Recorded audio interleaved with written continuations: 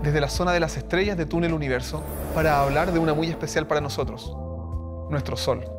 Pero nos vamos a concentrar en su superficie para poder entender en detalle qué es lo que podemos encontrar ahí y cómo eso se relaciona con el magnetismo.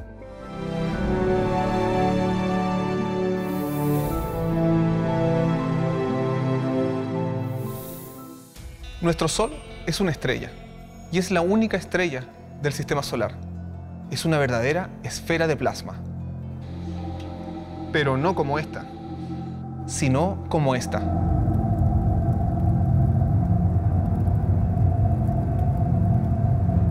Sí, este es nuestro Sol. Lo que acabamos de ver es nuestra estrella, pero vista con lujo de detalles, en un color que no podemos observar, el ultravioleta. Pero me interesa que nos concentremos en esas estructuras que rodean la superficie del Sol, esos arcos que podemos ver en la imagen anterior. Ellos nos cuentan de una característica de nuestro Sol sumamente interesante, su magnetismo. Ya dijimos que nuestro Sol es una esfera de plasma. El plasma es uno de los cuatro estados de la materia, que podemos pensarlo como un gas súper caliente del cual sus electrones se han separado de los núcleos de tal forma que tenemos un material cargado eléctricamente. Pero una de las cosas interesantes del plasma es que nos permite hacer visible lo invisible.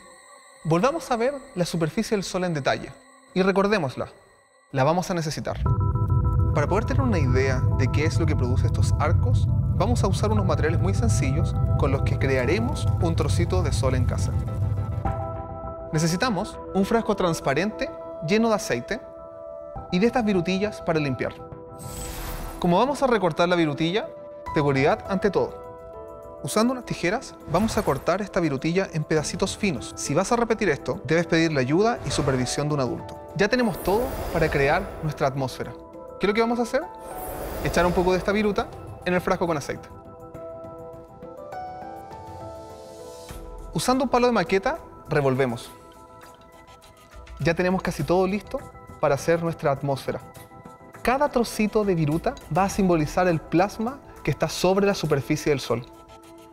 Y ahora, un imán. Solo debemos acercarlo a nuestro trozo de atmósfera para que veamos qué es lo que ocurre. Fíjense. Fíjense cómo las virutas se agrupan para formar líneas en torno al imán, arcos, muy similares a los que vemos en el Sol. Los arcos que vemos en el Sol son producidos por el intenso campo magnético que emerge desde el interior del Sol, moviendo y arremolinando toda su superficie, creando uno de los espectáculos más impresionantes de todo el sistema solar.